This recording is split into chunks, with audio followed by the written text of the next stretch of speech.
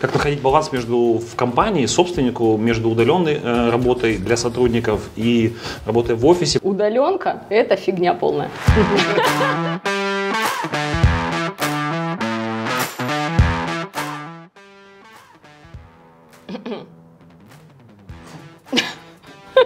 А, мы в эфире, класс. Э, у нас сегодня Марина Авдеева, человек, э, у нас не связывает одно слово франшиза, но только в разных, в разных смыслах.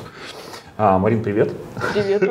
Сразу, сразу, сразу а у чувствуется, съемка франшиза началась. Два, значи- две- два значения, да, Ну, э, ты слышала о Я- это существовании франшизы в страховом бизнесе? Кстати, я не знаю, где уже франшиза более популярная. Мне кажется, когда мы начинали там в начале нулевых, о франшизе больше говорили как о страховом, о страховом бизнесе, а сейчас я уже не знаю даже. Знают Ну, ли, что франшиза есть То есть ты страхование? говоришь, что этим самым, что ты составил нам конкуренцию по этому замечательному По понятию, да? бренду. Не, на самом деле, кстати, я, я даже не понимаю, почему так происходит, почему мы не могли придумать какое-то новое слово.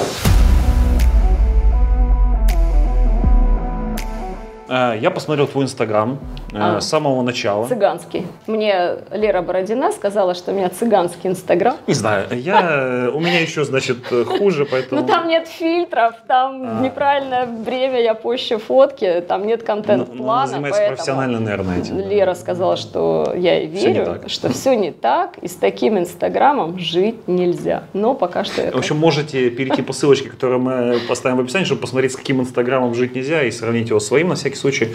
Вот. А, Я специально искал эту дату.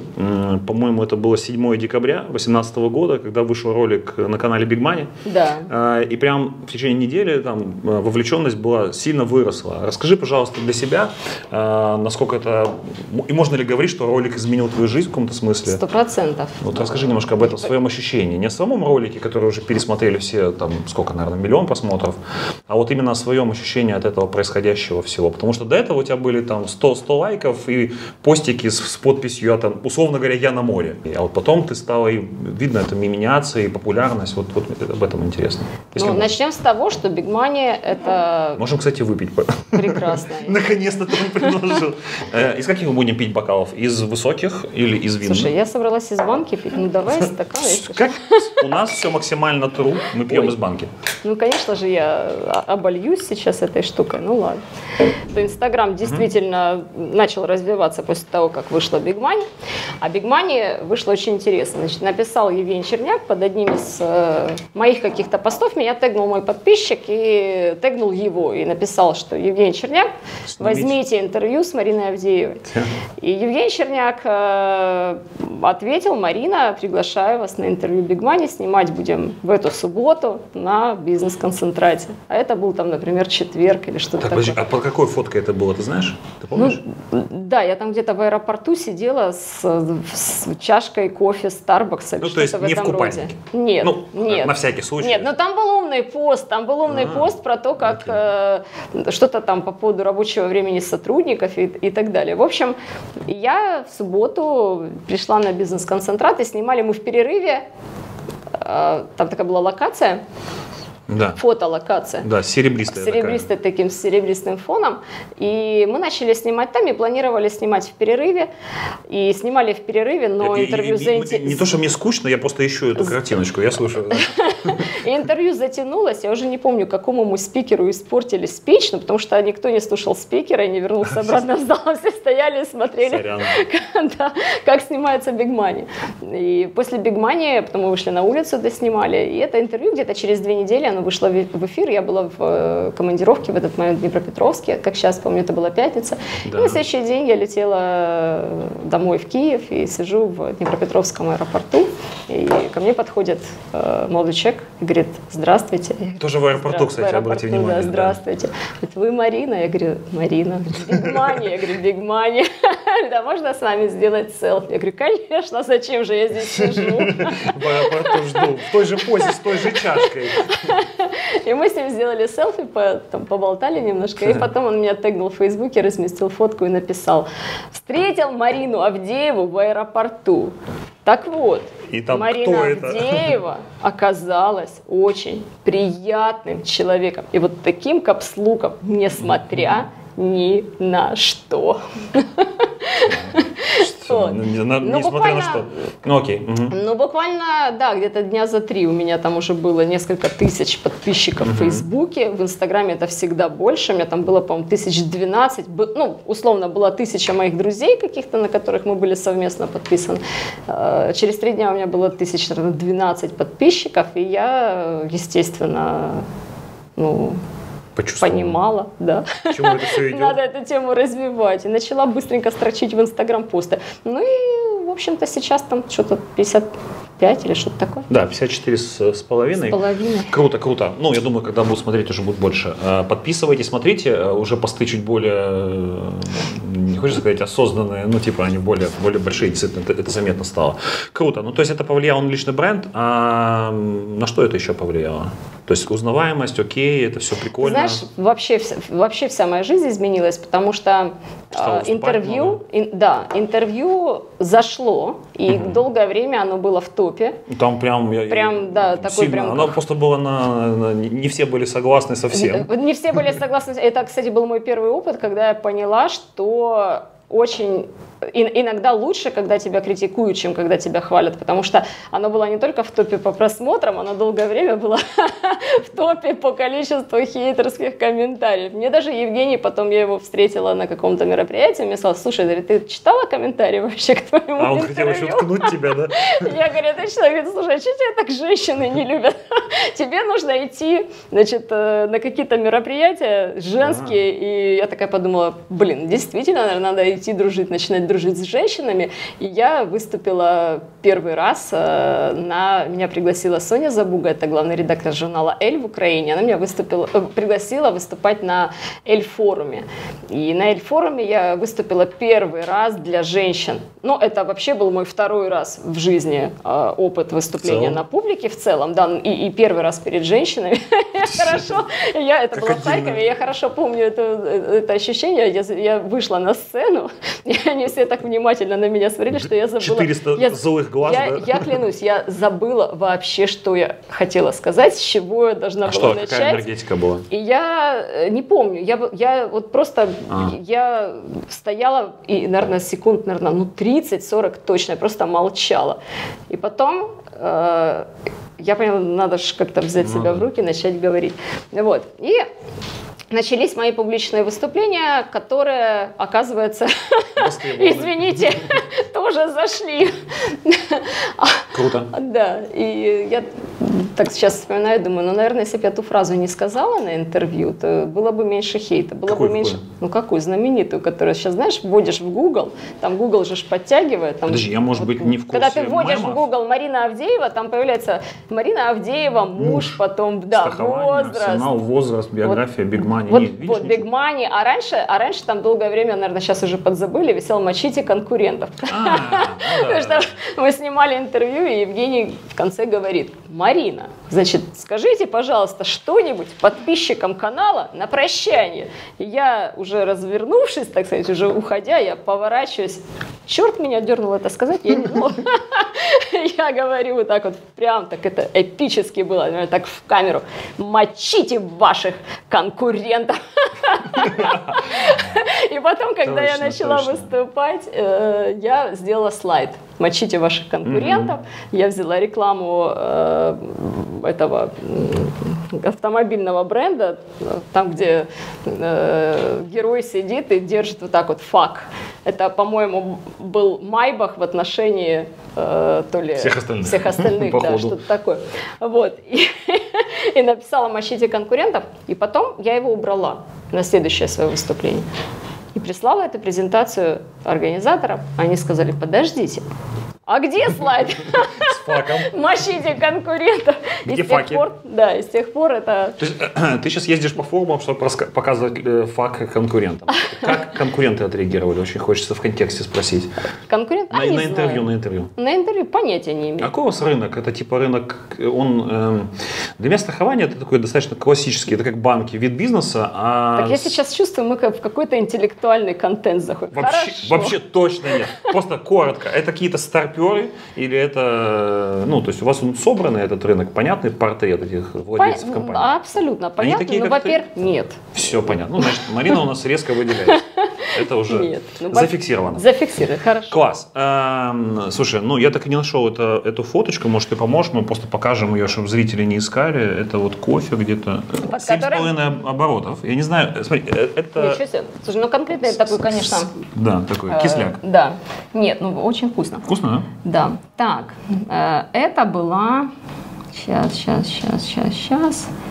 Мгм. Так, это уже было Явно интервью, до. так можно? Давай, пожалуйста. Это ты смотришь Может, ты удалила? по фото- Это где, где ты смотришь? В Инстаграме? Авдеева Марина, Нет, это нужно смотреть в Facebook. А, в. Потому что я, меня же не было в Инстаграме, с этого начал. Я, у меня Инстаграм это был какой-то вообще непонятный ресурс, я на него особо внимания не обращала. Все, я понял. Класс. Так, Марина Авдеева друг. Все еще. Посмотрим, куда зайдет наше интервью, конечно. Шучу, конечно. Мы, у нас тут максимум ну, вообще я френды. этим вопросом всегда э, мучаюсь, кого мне удалить, Добавлять. чтобы добавить кого-то. Спасибо, что помогли решить вопрос. Очень много. Здесь сын, кстати, да, то есть можно, можно много тут, наверное, долго Ну, рисовать. вот Изи, здесь вот есть даже муж, и тут подписчики Даже начали муж? писать, наконец-то вы нам его показали. Вот, он Да, где-то вот тут этот? был. Не, не, Нет, нет, да? это... Это. Это, это, это наш, этот самый, э, как это, промоутер, э, да. продюсер. Значит, муж вот, муж вот. И тут я так долго думала, что мне написать под этой фотографией. Мужа. Это э, для на- тех, кто, кто гуглит. Да, э, и, и написала я так, посмотрела и подумала, ну классное название будет звучать так, а в душе мы милые люди. Несмотря ни на что, да? Подожди, вот он это сказал, он имел в виду твой бизнес или что? Ну, Он то- имел в виду, что это интервью получилось очень хайповым. А, ну, потому что оно было достаточно жестким в стиле программы Big Money, не комплиментарным, там звучали какие-то... Ну, на- вообще, начало интервью, если ты... А ты вообще смотрел? Ну, конечно, но это было в тот момент, я, может быть, не помню Понятно. цитаты. Ну, начало было такое. То есть я думала, что Евгений меня спросит что-нибудь про то, ну, там, твоя Виды история успеха, как ты к этому пришла. А он мне задал первый вопрос такой. Марина, говорят, что ты часто ругаешься матом. Не могла бы ты нам это сейчас показать? А я сказала, ну, меня это совершенно сбило с панталыку. Я говорю, ну, бывает иногда. Говорит, ну, давай попробуем. Э, Вот. То есть вот такая репутация у Барины Авдеева была до интервью. Ну, в принципе, как будто бы ты благодаря интервью переключила на другую. Нет, э, ты знаешь, как будто бы благодаря интервью это все взяли и показали. Но надо сказать, что мы с Евгением земляки, и мы Да. друг друга до интервью знали. Поэтому, конечно, он, я не была для него там героем с чистого листа или там человеком... э, Он сам, наверное, не раз слышал. ко- котом в мешке, да, поэтому он, все те вопросы, которые он мне задал, ну, они реально были такие в тему. Вот. Круто. Ам, ну, пока мы ищем фотку, смотри, в Фейсбуке Мгм. как будто бы в сто раз их больше. А, тогда же это была фотка без лица. Это была фотка Pretty Woman. Мне в Старбаксе написали, забыв мое имя, это было в Старбаксе в Варшаве. Э, Написали на стакане с кофе, они пишут обычное имя. И ты сказала, I'm Я pretty сказ- woman. Нет, я сказала свое имя Марина, а они забыли мое имя, и я описывала это как бизнес-кейс. То есть, смотрите, чуваки забыли имя своего клиента, причем это их фишка, написать на стаканчике имя клиента, и они это забыли. То есть они могли просто меня переспросить, найти или еще что-то. Нет, они просто написали, они вышли из положения, вообще гениально, написали Pretty Woman, и за этим стаканчиком подошла не только я. И даже некоторые мужчины выстроились посмотреть. Прикольно. Кстати, насчет скриптов, я смотрел это выступление твое на бизнес-стендапе, где ты рассказывал, я не знаю, это, Это было настоящий кейс? Зачем? Ну, мы его поэтому и не будем показывать. Э, Вот. Ну, смотри, твоя карьера стендапера только начинается, поэтому представим, что это, да, как бы с чистого листа будет. А, не суть не в этом, мы не будем пересказывать вот этой интонации, да, то есть там смысл был, что пришел вроде как клиент, назвал себя, э, э, как, к нему обращаться, Ваше Величество, Да, ко Ваше мне Вели- обращаться, да. Ваше Величество, и твой сотрудник быстренько адаптировался и начал с ним так говорит, там, сударь, ваше да, величество, при... тролливали, ваша карета застрахована уже. А, и ты финализировала там мысль, что мы работаем без скриптов. Это на самом деле правда или это было для стендапа? Нет, это на самом деле правда. Причем я буквально вчера выступала у одних наших партнеров, у брокера. Это было мое первое профессиональное выступление. Но оно все равно было не на профессиональную без матов? тему. Без матов. Нет, с факом, как это без Они ради этого идут вообще.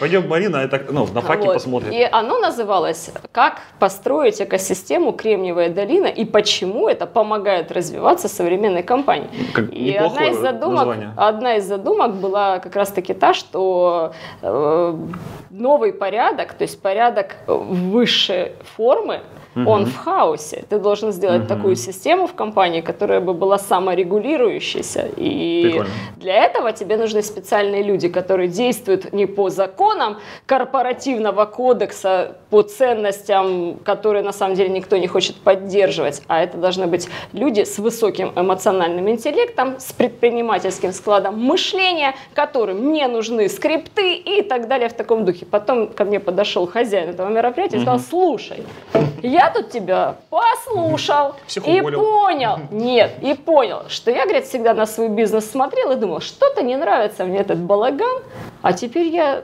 решил переосмыслить. Так получается у меня экосистема Кремниевая долина. Я говорю, точно. Мы работаем без скриптов тоже, да? Ребятушки, мы сейчас прервемся ненадолго. Я нахожусь в Харькове. Э, мы в гостях у Саши Колба, э, компания Промода. Это Промода Хаб, его большая локация, последний оставшийся хаб в стране, как мы выяснили. У Андрея Федорова закрылся недавно, к сожалению. И мы сейчас сделаем для вас небольшую экскурсию, обязательно посмотрите, это очень интересно.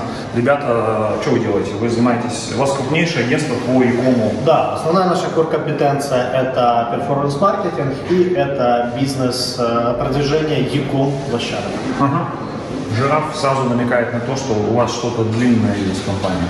Э, но давай, давай так, мы не все будем показывать, что у нас есть длинная компания. Жираф это символ наших Э, в общем, скажем так, это наш внутренний герой, который мы используем для прокачки нашего HR-бренда. Э, почему жираф? Потому что жираф большой, ему видней. А во-вторых, э, его жираф? Потому что ну, это еще животное, которое обладает самым большим сердцем. Вот здесь мы заблюрим. Да, а сердце, да, это самец, а сердце это все про эмоции, ага. про правильное посыл, которое транслирует нашим, нашим ребятам. Это, это, это не веб-пространство, это не выставка, хотя здесь есть картины, здесь работают люди, я не знаю, я им безумно завидую, потому что, ну, не знаю, это офис мечты, наверное, да? Мы делали его с лозунгом «работать комфортнее, чем дома». Это настоящая, кстати, вот штука. Нет, вот эта штука, штука, кстати, я же не успел тебе рассказать. Эта да. штука не настоящая, это точная копия. Почему? Потому что настоящая штука в два раза больше на самом деле. Поэтому она бы сюда не влезла. Но э, именно логотип метрополитена, именно вот эта хрень, которая вешается там, что как да. показатель метрополитена, разработана именно в Харькове. То есть это делалось в Харькове еще при Исаке. А вот эта штука вся настоящая. Там работают люди, ну, покажите, они работают практически в метро. Буквально, да, вот сидит человек, э, смотрит Pornhub, кто-то там с клиентом общается, то есть, ну, в принципе... Нет, они не смотрят Pornhub, это, кстати, отдел digital коммуникации, это, по сути, те ребята, которые производят... А вы, кстати, не работали с Pornhub никогда? Нет. Нет. Очень зря. У тебя команда выросла на 78%, я знаю. Тема такие есть. То есть мы выросли на 100 человек э, уже в этом году. Наши mm-hmm. планы еще прирасти где-то там, человек на 60. Короче, этому человеку нужны другие человеки, которые будут работать в крутых офисах с крутыми клиентами, напомним, да, на, на секундочку. развивать экономику Украины. Это само собой клиентов, напомним, давай, основной. Клиентов, э, да, ну все, розетка, э, розетка, кофе, монобанк, Алло, Фокстрот, Ева, э, Мойо, все, что люди еще, уже потекли. Что, что еще вспоминать? Ну, в общем, а, много всего. Министерство туризма Грузии. Вот сейчас мы стартовали проект продвижения города Алматы как туристической локации. Крутяк, крутяк. В общем, много всего есть классно. В общем, этому человеку нужны вы, если вы разбираетесь, или ваши друзья разбираются в икоме, посоветуйте, это очень клево. А, приезжайте в Хаб, у вас есть платные экскурсии? Есть. Есть платные экскурсии? Кстати, бесплатные. Даже бесплатные. Кстати, для, для подписчиков Это вообще можно встретить свою вторую половинку. Недавно пост вычитал, Да. очередная свадьба. Вот, кстати, Рафаэль. Вот, Серьезно? вот яркий пример, яркий пример Рафаэля. Рафаэль э, Кого женат, э, жену, жену. Да. 10 лет. Да, Рафаэль как раз женат 10 лет. э, Его Вы жена, здесь, да? его жена Света, да, сидит в отделе финансов. Все, Рафаэль Теперь пока я. работает Рафаэль. Яркий пример, яркий пример, да, ребята, которые приходят. У нас это вот, э, не- нельзя сказать, что мы делаем, прям промотируется это, но это абсолютно нормально. Реклама свадьбы. Круто. Ребята, ссылочки все в описании. Если хотите работать в крутом месте, развиваться и найти вторую половиночку, ну, так- такой как будто бы у нас месседж, Да. а, и работая при этом без этой самой большой компании в, индустрии, то, то вам сюда. Или порекомендуйте друзьям. А мы двигаемся дальше. Мы первый, первый иншуртех стартап в Украине, который освоил тем- тему неострахования. Тему, она так по-модному называется UBI, то есть страхование на основе использования. То есть сколько ездишь, столько и платишь. Ну, там есть обратная сторона медали, если ты ездишь много, то ты и платишь Чуть много. дороже, да, будет? Ну, это рассчитано на каких-то там осознанных потребителей, да, свои автомобили. Ну, во-первых, это все делали мы сами с ребятами. Э, В 2020 году начался карантин, в марте и мы решили запилить этот стартап. Сначала мы думали, что это будет просто второй продукт, как бы такой модный, современный. Да. А потом мы поняли, что это больше, чем продукт, и мы сделаем отдельную компанию, иншуртех э, стартап EasyPeasy. Иншуртех, мы Иншуртех его назвали. Иншуртех- раньше? Иншуртех, да, Да. конечно. Эта тема не новая, то есть это было, просто этого, это редко встречалось у нас. И мы начали заниматься, и все, что мы сделали здесь, это буквально, Цыпленка. ну все вообще, цыпленка, название. То есть название я как придумала э, вечером, так сказать, за бокалом виски. Ну, я так Оно и видно. Вот, и все, кому я там пришла и сказала потом на следующий же день, я же прибежала, и говорю, ребята, Easy я придумала нам название, наша компания будет называться Easy Peasy. И, и я ждала их реакции. А они такие сидят и молчат. Я говорю, пацаны, вам что, не нравится, что ли?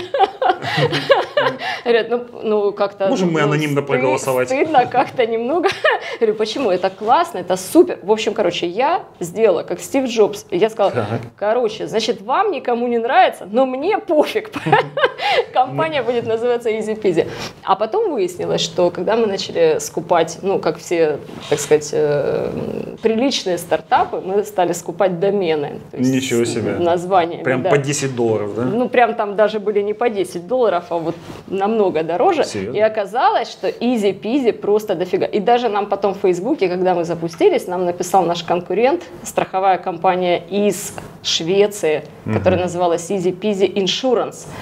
Вот. Э, Ребята, да, которые... Давай их сайт откроем. Давай их сайт откроем. Блин, а? Прорекламируем. Иншуртех Peasy Insurance, да. просто сравним, насколько у них убогий дизайн. Да, отстой. Отстой. На самом деле. Ну вот, иншуранс, все. И, и что они хотели? Ну ничего, они написали, сказали хай, ну хай, вот э, у нас тоже есть э, стартап, у них там с регистрацией в Калифорнии со всеми Во-первых, ничего не э, понятно. делами. Во-первых, ничего не понятно. Вот мне сейчас у вас мер версия или гудкан, я не знаю. У вас мер, наверное. Я надеюсь, я не ругаюсь. Но тема та же самая. То есть у них нет автомобильного страхования, но Катастрофа. есть страхование там всяких вещей, которые у тебя какие часы, Ром? Э, Правильно. Apple. Вот, значит, Кстати, одеваешь, батарейка села. одеваешь часы. Помогаете вы от батарейки? э, Ну вот это вот их тема тебе туда.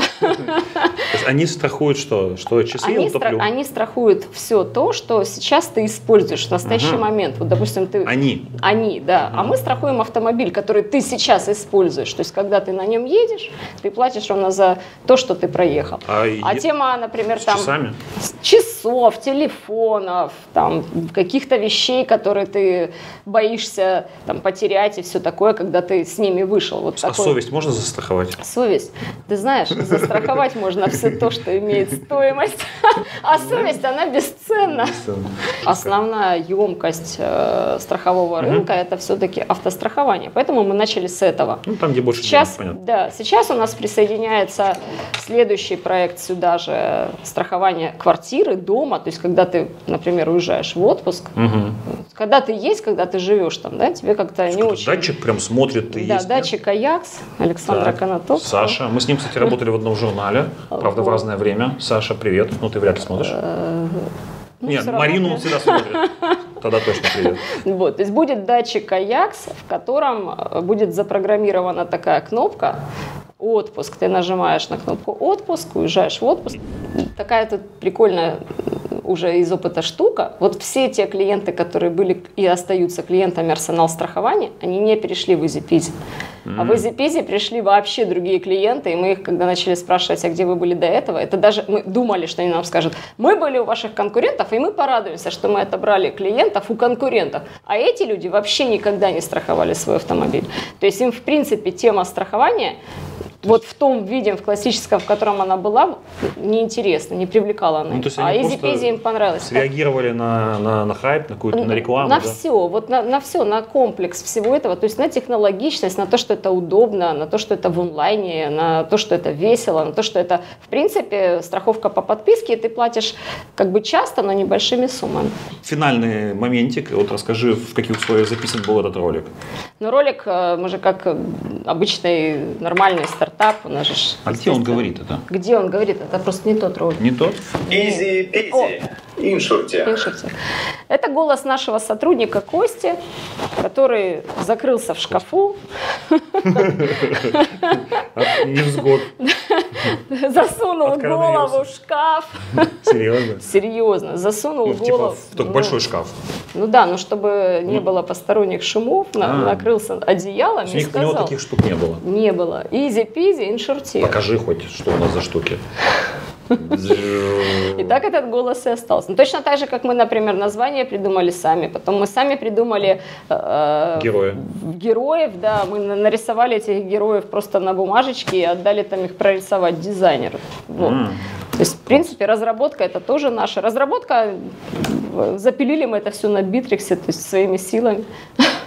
Класс. Ну, круто, круто. А я всегда думала, ну, кто эти люди, кто наклеивает Это э, лю... наклейки Где? на чехол мобильного телефона? Их было больше, они поотваливались. У меня, я, я увлекаюсь sticker bombing ом. Знаешь, что это такое? Это когда берешь наклейки, ну, иногда, не всегда. На, в смысле, на, скорость, что ли? Нет, sticker bombing просто за, зафигачить много наклеек на какую-то маленькую поверхность. Видела машины, которые обклеены стикерами? Вот Видела. это стикер, стикер-бомбинг, да. Но у меня на машине, к счастью, нет, на телефончике, да. Это Миша Федоров подарил на день рождения мне стикер Пакс. Михаил Федоров. Это мое да. любимое а, извините, министерство. Михаил Альбертович. Да, мое любимое министерство, любимое цифровой трансформации. И тоже землячок. Потому что и тоже землячок. И, кстати, благодаря работе этого министерства, минуточка рекламы, и получился проект Easy Peasy InsurTech, потому mm. что если бы у нас не было взаимодействия с DI, то ничего бы этого не получилось. То есть DIA помогает что, зарабатывать компания? Э, предпринимателям, да, которые делают цифровые Из проекты. Из Запорожья, DIA, на всякий случай. DIA помогает очень сильно. Так помогает ли она зарабатывать другим предпринимателям? А, э, в Инстаграме, о котором мы говорили, я нашел э, твою историю, где ты сама э, стала участником э, страхового рынка только со стороны клиента. Ты рассказывала историю, что, по-моему, в США э, заболела. А, и да, было такое. Твой муж, угу. он, э, или вы вместе пришли в страховую компанию, ну, наверное, нужно Но надо начать с того, лекарства. что я очень продуманный пользователь. Ну, этим И когда я летела в Америку, я не стала покупать полис в своей страховой компании, потому что я знала, что средний уровень счета по любому поводу в Америке, в Штатах, да, по какому ты не обратился, это будет тысяча долларов, а полис стоит там, ну, 500 гривен. То есть стоит тебе чуть-чуть заболеть, неважно, маленькая простуда или что-то еще, у тебя счет будет 1000 долларов. И смысл какой? То есть мы не хотим продавать штаты, ну как бы мы их не можем не продавать, поэтому те клиенты, которые знают, что мы их продаем, они приходят, покупают, а я пришла и купила это у своего конкурента. И заболела в Майами. Причем заболела очень сильно, у меня был какой-то сумасшедший вирус, и мы позвонили в колл-центр этой компании.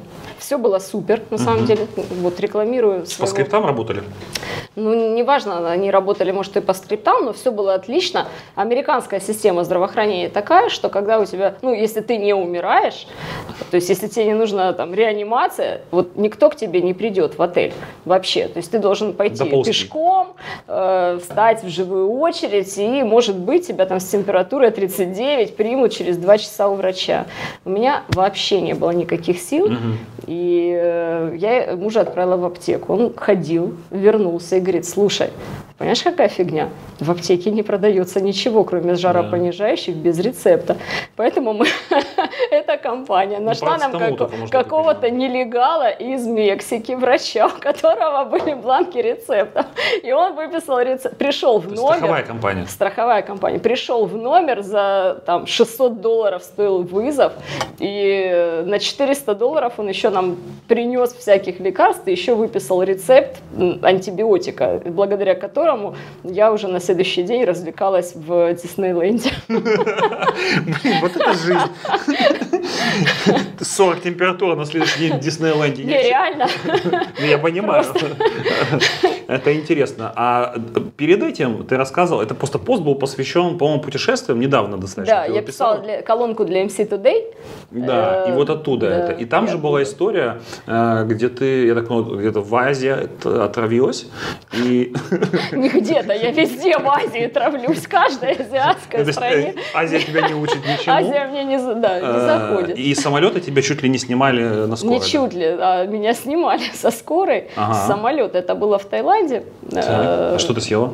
Ну, что-то я съела. Но я точно помню, что хуже всего мне было в э, Шри-Ланке. Там э, у меня был, э, как это называется, когда подж- Да, поджелудочный. давай составим карту отравлений Марины Авдеевой. Панкреатит, у меня был жуткий панкреатит О. в, на Шри-Ланке, и мы были в таком отеле, э, таком бутиковом, который находился за 70 километров до ближайшей клиники. И я за то время, пока там полтора или два часа доктор ехал, честно сказать, я думала, я отброшу коньки. Панкреатит это же серьезная история. Очень мне было плохо, да. А в Пекине мне было настолько плохо, что после того, как э, я пришла там в себя, в Китае, да, э, Да. ты не будешь меня сразу спрашивать, какого билета столицы государства? нет? Например, назовем его Пекин. Вот. И в Пекине я искала русский ресторан. Ну, не украинский, там украинского не было, русский ресторан. И питалась, да, в Пекине я питалась э, в русском ресторане. Такие истории. То, то есть были. что-то там, да? Пельмени, борщи, вот это. Ну, вот что-то там такое привычное, да. Потому я выработала для себя правило, я в MC Today об этом написала. Всегда выбираю натуральный кусок, там, например, мяса или рыбы, и просто порезанные овощи или не порезанные. Просто огурец положительный и уйдите. И все, да. То есть никаких салатов, никаких карри, ни- никаких там вот этих сложных блюд. И не хочу знакомиться с местной кухней. Когда мне говорят, а не хотите ли вы попробовать наше местное, как сейчас помню, Local приезжаю на Фиджи, я, наверное, один из многих украинцев, который летал на Фиджи, как меня туда занесло, я не знаю, ну, наверное, потому Ну, что я была в Австралии, от Австралии до по Фиджи историям лететь- понятно, что ты, может, сама даже не знаешь. Лететь 7 часов, и уже как бы все же относительно, относительно Австралии это было близко, и мне там предложили, говорят, не хотите ли вы нашего блюда? А Оно называется коконда. Коконда это рыба, вымоченная в кокосовом мол- мол- молоке, сырая, со специями, в таком как скорлупе от кокосового ореха. Я сказала, это очень красиво, я у вас сейчас это куплю для того, чтобы сделать фотку в Инстаграм. Но есть я ее не буду. И в итоге, Ну, она есть фотка в Инстаграме. ну, не съела. Нет. М, Очень странно. Все-таки Азия чему-то доучит. Окей, круто. Но это вот, ну, ты знаешь, э, э, эта вся история, это такая легкая на подъем, да? А, Ты писала тоже в Инстаграме, что вот э, ты поехала на Кубу, оставив восьмимесячного ребенка маме. Это мне стыдно. Ну, да, как бы Ну, смотри, мне было 26 лет, и очень хотелось на Кубу. очень... И была горящая путевка. Но сейчас это кажется... Это вся история, да? Ну, как бы... Нет. Это, это та фраза, которая все объясняет, потому что сейчас, ну- когда приходят люди и говорят, я там выхожу замуж или женюсь, а я спрашиваю, сколько тебе лет? Человек говорит, 25. Я говорю, ты что, с ума сошел? Это очень рано. Вот. Но я уже тогда была Куба. замужем, и у меня был ребенок, которому было 8 месяцев. Но так как мне очень хотелось, я полетела на Кубу, да. На Кубу мы летели через Амстердам, и в Амстердаме У нас была тоже история, которую я Не сомневаюсь. Да. нигде не рассказывала. Мы Самое время. полетели в Ребята, Амстердам. э, Внимание. Я даже перебивать не буду.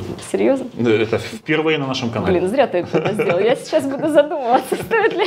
Да нет, ну что, что в Амстердаме? Ну что-то связано Ну с что, тем, в что... Амстердаме, э, естественно, кофе-шоп и все Да. остальное. И нам говорят, ну смотрите, у нас тут конфеты с каким-то, значит, там, чем-то. Говорит, Хотите попробовать? Я говорю, ну давайте, ну все ж А пробуют. когда тебе говорят с каким-то Вот. чем-то, ты говоришь сразу две. Нет, я сказала одну и говорю, ну, слушайте, как-то не, не заходит, то есть нету эффекта Ну, это прихода. марихуана? Прихода нет. Ну, там какие-то, слушай, ну, это у них в каждом кофешопе это продается, то есть все абсолютно туристы это пробуют. Нет, сейчас я бы, конечно, это эксклюзивный контент, Рома. Я бы, конечно, на это все не согласилась. Но тогда и было интересно. Вот, мы попробовали. Я говорю, слушайте, ну прихода никакого нет. Они говорят, а ты запей шампанским. Я говорю, окей. Запила, запила бокалом шампанского. И вот еще шприц тебе. вот знаешь, как говорят, когда э, действие там алкоголя, да, точно так же Усиливает. проявляется, то есть усиливает то, чего ты боишься, твои страхи. То есть вот некоторые люди или усиливает то, что в тебе живет. То есть некоторые люди они становятся там супер веселыми, там Да, да, вот да, начинают веселиться, кто-то начинает бояться. Меня накрыл сумасшедший страх. Мне, э, значит, я ехала в отель на такси, мне казалось, там есть такая главная площадь в Амстердаме. Это, кстати, столица Голландии, если ты Между прочим, э, что-то связано со столицами или что? Чего-то не знаю. Вот. Мы в Киеве, И мне казалось, что мы ездим вокруг этой площади уже там на пятый или какой-то круг. В общем, все было как бы в замедленном кино. А, На следующее утро нам нужно было лететь. То есть у нас была стыковка в Амстердаме. А Вот нужно было лететь. Мы приехали в аэропорт. Это а- все еще на Кубу с восьмимесячным ребенком. Без- восьмимесячных. Да. И мы приехали в аэропорт, и мне ребята, которые были в нашей группе, ну, они э, как бы там в кофешопе тоже со мной были, да, Ну, они мне как самое сознательное решили отдать все свои паспорта. А, то есть у тебя еще... Я пошла, в- я пошла в duty free и что-то там покупать. Купила. А потом, когда объявили посадку, я подхожу на гейт и понимаю, что паспортов со мной нет. Ну да. И оказывается, я их оставила на кассе. Но все закончилось хорошо. Я вернулась, на кассе стояла моя сумка, там, где я рассчитывалась, на такой подставочке, знаешь? Вот. И мы какие нормально честные люди. полетели дальше. Круто, круто. Ну, можно представить, какая, чем занимались те люди, если они оставили Марине Авдеевой паспорта как самому надежному человеку. Несмотря ни на что. Несмотря ни на Э, что. Так, класс. Все, с Инстаграмом закончили. Э, По бизнес... э, 60 стран. 60 стран, да, Да. ты писала? Ну, Да. давай закры- закры- закроем тему с путешествиями. Эм, Ну, давай, может быть, там топ-3 страны, Топ-3 страны? кроме Амстердама. Ой. Да. Города. Да. Топ-3 города. Да, потому города. что я, как Ел Нордстром, который Да. шведский футуролог, который А. сказал, будет 600 городов, а не стран, в которые Да, мы да, будем да, есть такая да, теория. Ездить. Потому что уже сейчас мы не едем во Францию, не летим во Францию, мы летим В в, Париж, Париж. да. Нью-Йорк, мгм. Поэтому Нью-Йорк, Лондон, Рим. Это три города, в которых я себя отлично чувствую. Недавно была в Лондоне. Вообще у меня очень много историй, Ром. Я А, смотри, была в Лондоне У нас очень на много алкоголя, как ты любишь. на И футболе. принесите нам что-нибудь из кофешопа. Да, где? В Лондоне? В Лон... Ой, в Лондоне, в Риме. В Риме. Я была, летала в Рим вот пару месяцев назад на футбол. Так, вы там кого-то И- застраховали? Нет, мы никого не, застава... не, за- не застраховали, значит, мы туда... А, это же был карантин, и залететь можно было только, если у тебя был э, визит к врачу, например, или там какое-то приглашение. Мы записались к врачу, реально, то есть и реально должны были к нему сходить, к этому врачу. Ну, поняли, что врач не И дождался. очень даже спокойно залетели, все нормально. И я так радовалась, говорю, слушай, Сергей, моему мужу, говорю, мы так классно залетели, говорю, вообще никаких проблем. Говорит, подожди, говорит, не радуйся, проблемы будут на выезде. И они действительно накрыли нас на выезде, потому что на выезде мы провели э, час в полицейском участке, потому что нам сказали, вы были у врача, покажите ваш сертификат. Оказывается, итальянские вы- врачи выдают сертификат тем, кто у них действительно был. Но Можно нас потерять сертификат. нет, нельзя, он Скурить. в базе есть. А. Поэтому, да, поэтому у нас были проблемы, но все хорошо решилось, и мы улетели. А стандартным способом? Абсолютно. Никто ничего не хотел слушать. То есть пришлось сходить к врачу, все нормально. А, нет, так это, это нестандартный способ. Я тут э, недавно, недавно, вчера ездил в Харьков, я, значит, э, видимо, настолько много сейчас э, проектов, что э, я купил э, билеты туда на сегодня, а назад э, на вчера. Ну, Туда на сегодня, а на... А, интересно. Хобби какие-то есть? Вот помимо путешествий, отравлений и... Знаешь, у меня есть такое хобби, причем это хобби, с ним тоже связано интересная история. Я ради этого и... У меня есть страничка в Википедии. Даже так? Ну. А ты туда сейчас, да, будешь заходить? Ну, Википедия вроде приличный сайт. Или... Значит, нет, там все нормально. Значит, у меня есть страничка в Википедии. Ну и там в разделе хобби, э, как бы по идее должно быть это мое хобби. И оно все время оттуда пропадает. Мы сюда дописываем, а оно пропадает. Ну, наверное, люди думают, что это что-то неприличное. Звучит оно как нумизматика. Вот посмотри, оно сейчас есть, нет? А, так, родина. Нумизматика в самом конце. Вот в самом конце, где хобби, оно очень часто вообще ну, пропадает. По нум нету. Сейчас нету. Нету, видишь? Вот. А вообще оно должно быть. Поэтому Потому что хобби, хобби мое нумизматика. Нумизматика – это коллекционирование Ты меня снимаешь? Тут Марину снимать нумизматику. Э, э, монет. Монеты, Монет. Это хобби мне досталось по наследству от моего папы.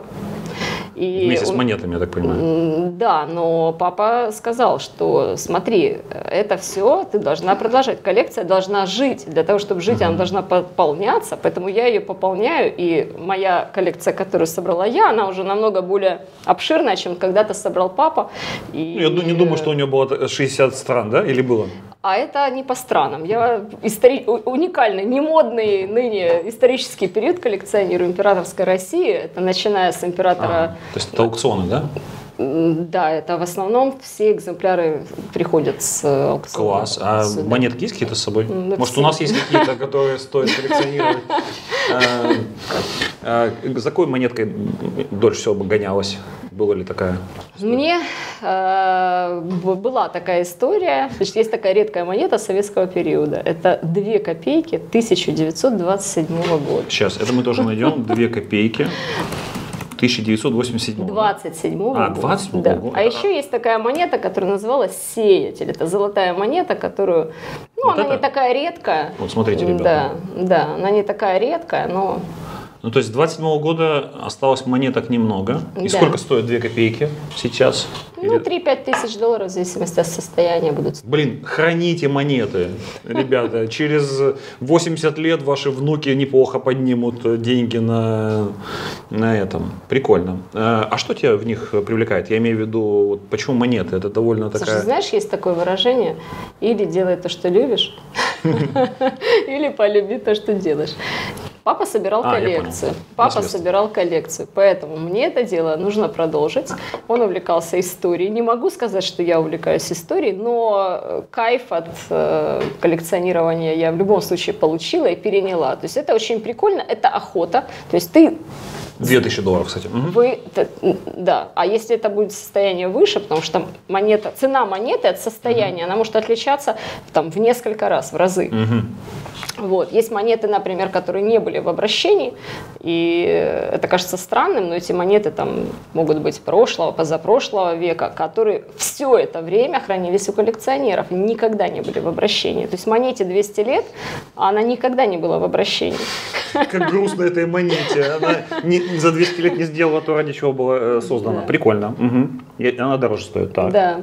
То есть вот. продолжаешь дело? Продолжаю дело, да. Дело угу. своего отца. Так, что здесь написано было? Пролетарии всех, всех стран, стран соединяйтесь. Ну, да. стандартная история. И СССР мне нравится, еще написано было с точками. Это вот это... Не везде. Не везде с, было. С, да, с, да, не везде. Потом перестали писать с точками. Вот, да. Поэтому мой период это императорская Россия и, сов... и советский период, то есть Советы. Совет. Да. Хорошо, хорошо. Что-то как будто у нас э, про наркотики, ой, про кофешопы было ну, веселее. Смотри, немножечко интеллектуального поем, чтобы не думали, да, что... Что только ем. Такое у меня интеллектуальное хобби. За которое мне не стыдно. А еще, а еще, Да, может, еще минуточка история? самопиара, как говорит Ксения Собчак, самопиар это очень важно. 100%. Внимание на экран. Да, я коллекционер украинского современного искусства. И в моей Так. коллекции есть работы всех всех все. художников, украинских известных художников, вот, начиная там от Не спрашивай. самых молодых не и знаю. заканчивая Анатолием Криволапом. Так, Анатолий Криволап. Сейчас мы- Анатолий Криволап. Самый дорогой художник. А, Это самый, ну, это самый большой бренд, да? Криволап и Да. ка- картина? Есть Конь. Конь. Вводи, конь. Ну, конь. Давай. Это Вот смотри. твой конь? Нет, это не мой конь. конь. Конь был продан на аукционе британском каком-то, я забыла, Мгм. по-моему, то ли Сотбис, то ли другой, за 186 тысяч фунтов стерлингов. Это было, был рекорд на, мировой, на э, как сказать, украинской арт-арене, насколько я знаю. Э, Ну, я должен сказать, что это он похож на коня. Он- Это, это конь. Э, Это прикольно. Так, хорошо. И у тебя есть конь. Нет, у меня нет коня, А. у меня есть другая его работа, но замечательная, называется «Дорог- «Дорога в Карпатах». Карпатах. Мы сейчас все узнаем. Все покажем. Это вот это, да? С? Нет, это не она. Не А, м, так, ну это можно, наверное, посмотреть ее, Он, наверное, не фотографировал ее. может быть, фотографировал, но она у меня достаточно давно. Мгм. Значит, ты ее должна сфотографировать и разместить в Гугле. Да, она снялась во всех интервью. У меня же постоянно снимают интервью. Она была везде, где только можно. А, ну, то есть, наши Все, интервью- все, кто ко мне приезжает в офис, видишь, я сегодня у себя в офисе, все, Да. кто ко мне приезжает снимать интервью в офисе, они говорят, только не на фоне криволапа, потому что...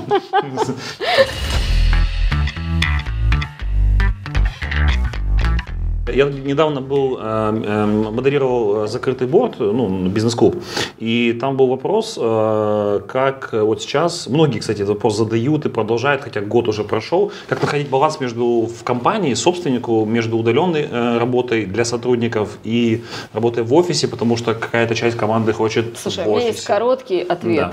Удаленка – это фигня полная.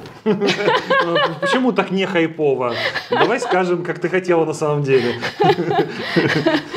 Фигня, так. Э, На удаленке можно какое-то время протянуть. То есть компания будет продолжать работать, если выстроена система, и действительно это, это возможно. Но новые идеи не рождаются в четырех стенах, когда ты сидишь у себя в квартире один, и самое залайканное – это твой холодильник. Да? Поэтому... Или в шкафу, да? Или в шкафу. Нет. Или когда там тебя дергают дети, постоянно заходит кто-то из членов семьи и так далее.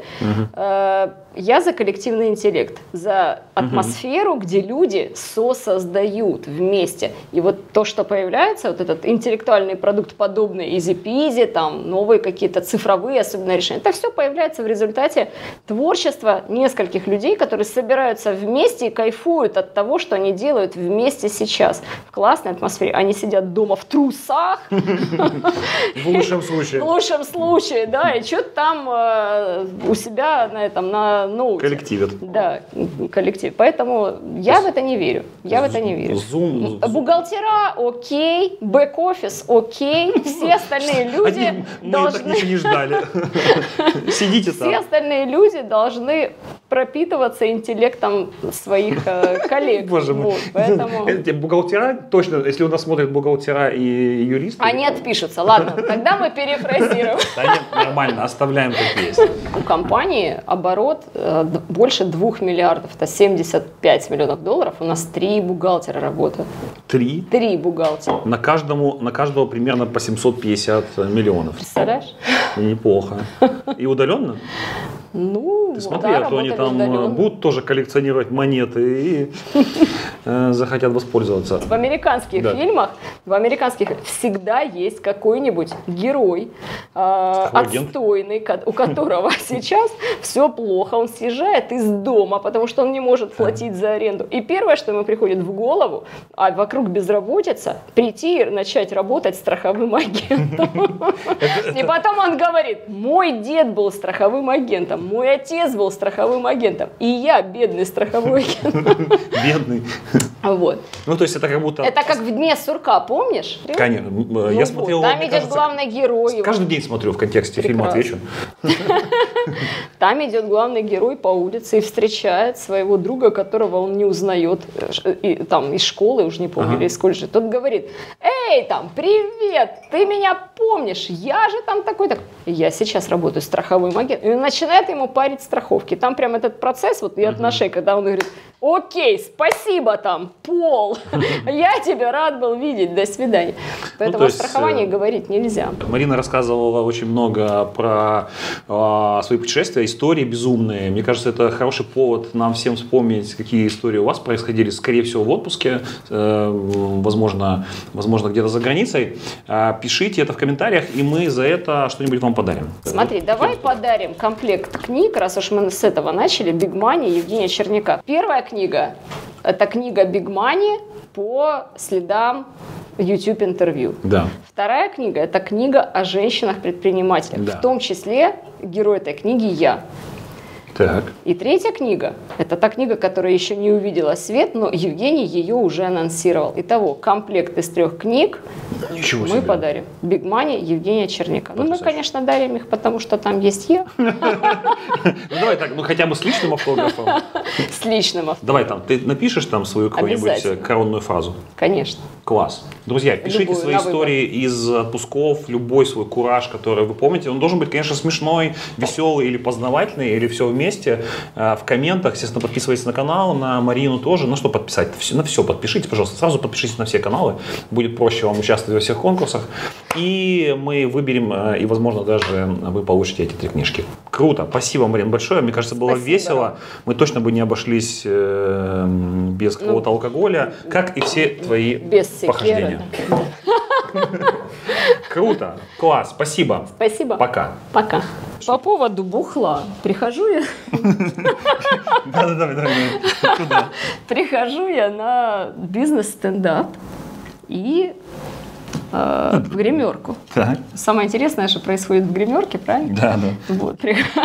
Ты, кстати, знаешь историю? Я не буду говорить, кто это, как на последнем бизнес-стендапе у Наташи Слевцовой. Очень, очень опасно выступать последним, потому что когда ты выступаешь последним, ты сидишь в гримерке, все спикеры выходят, заходят, рассказывают, как все прошло. И вы- пьют. И пьют, да. И потом ты выходишь такой же нормальный. Так вот, спикер, который выступал последним, он упал. И это было смешно. Нет, он не просто упал, он реально вырубился на сцене. Серьезно? Серьезно. А кто это был? Ну, он уже хотя бы. Ну Это вот, Длигач? я не скажу. Понятно. Хорошо, так, окей. Но это не двигатель.